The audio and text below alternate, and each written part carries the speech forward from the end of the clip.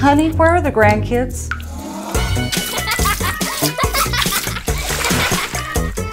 Water, fire, natural disasters, and even mold, Sunnyside is your leader in property damage restoration.